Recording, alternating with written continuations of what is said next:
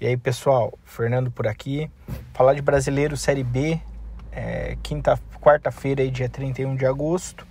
Temos Ponte Preta e Bahia. Mercado colocando Bahia como favorito aí no, no estádio Moisés Lucarelli em Campinas.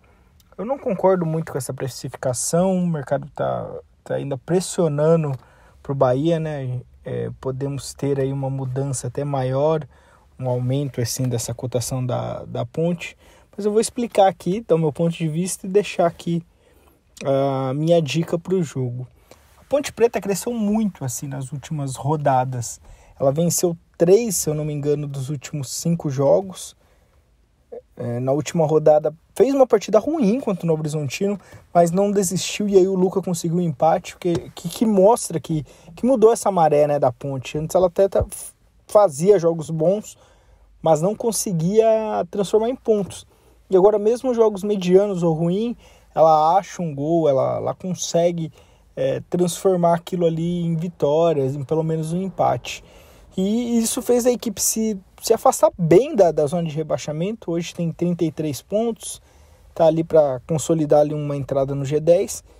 Tem pela frente o Bahia. O, o Bahia venceu o Vasco por 2 a 1 na última rodada de virada no, na Arena Fonte Nova. É, é, o segundo colocado ali tranquilamente. Está bem atrás do Cruzeiro, né? Esse título já é do Cruzeiro na Série B.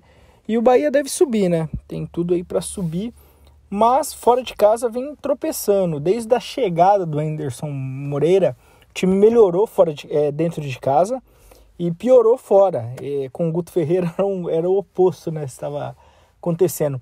E com o Anderson o time está sofrendo aí fora de casa. Até com o Londrina, que foi o último jogo, apesar de do 1 a 0 até o finalzinho ali tomou um gol de empate no um lance meio estranho ali do, do Patrick de, de Luca e depois do goleiro Danilo Fernandes, o Bahia não fez um bom jogo. Tem um tabuzinho ali, né? Um tabu de desde 2008 a Ponte não vence o, o Bahia.